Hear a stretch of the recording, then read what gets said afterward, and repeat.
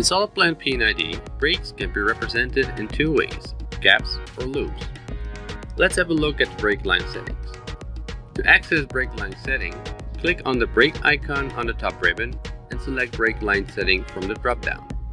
A dialog box will appear where you can choose for a gap or a loop break, set break width and break direction. After we modify the settings, click on OK. Select break line from the drop-down and all the crossing lines will automatically display the break symbol that was selected in the settings.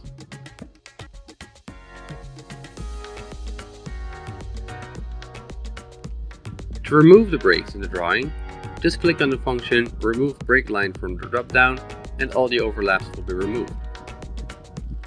Try and change the break style to Gap.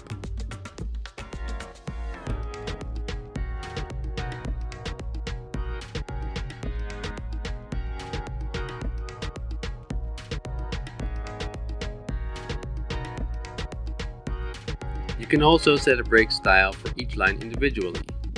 Select either Set Vertical Break or Set Horizontal Break from the drop-down and make a box selection of where the lines cross.